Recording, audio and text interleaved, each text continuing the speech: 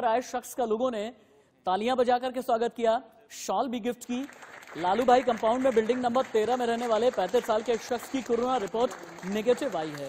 और अब जब ठीक होकर के ये वापस आए हैं तो मुंबई की गलियों में मरीज़ का कैसे स्वागत किया जा रहा है, देखें आप।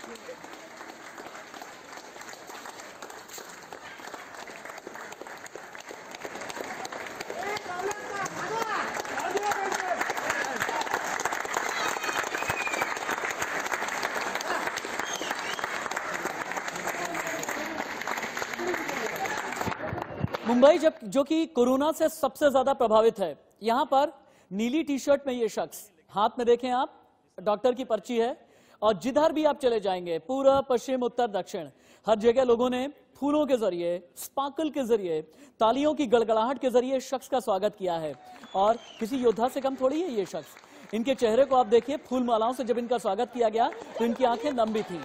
घर पर जाने से पहले गली में जैसे ही निकले क्योंकि इन्हें ये पता था कि ज़िंदगी और मौत के बीच की जो जंग होती है, वो पिछले तेरह दिन की क्या रही है? तेरह दिन की इनकी जंग है।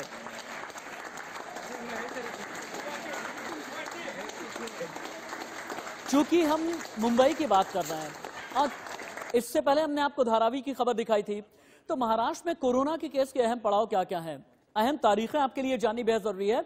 और इसीलिए मैं कहता हूँ कि कोरोना वॉर रूम की रिसर्च टीम जब आपके लिए स्टडी और वैज्ञानिक विश्लेषण निकाल करके लेकर के आती है, दिन रात फाइटर की तरह, कोरोना वॉरियर की तरह हमारे सभी साथी आपका, आपके लिए वैज्ञानिक विश्लेषण तैयार कर रहे होते हैं।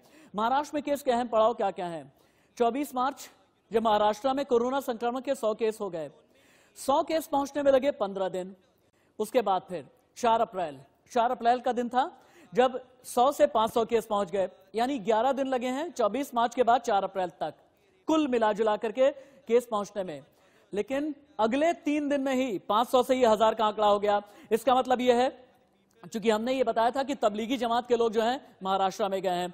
तबलीगी जमात का एक डॉक्टर, जिसके बारे में दो दिन पहले ही हमने आपको खबर दिखाई थी, ये डॉक्टर धारावी में नमाज़ पढ़ करके मुंबई के वॉकआउट हॉस्पिटल में गया। यानी अगर पंद्रह दिन में सौ केस, ग्यारह दिन में अगले पाँच सौ केस, तीन दिन में 500 से हज़ार पहुँचने का आंकड़ा, यानी मुंबई में बहुत ही ज़्यादा खतरे की घंटी बज रही है, और इसीलिए बार बार हम कह रहे हैं कि सामाजिक दूरी का पालन करें, और अगर प्रधानमंत्री की तरफ़ से यह कह दिया गया है, सामाजिक दूरी ही है रामबाण। तो इसे समझिए आप।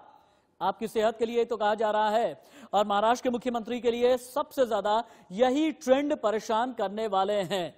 लेकिन मुंबई की बड़ी